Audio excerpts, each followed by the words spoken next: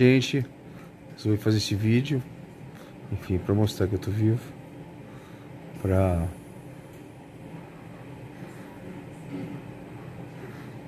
agradecer.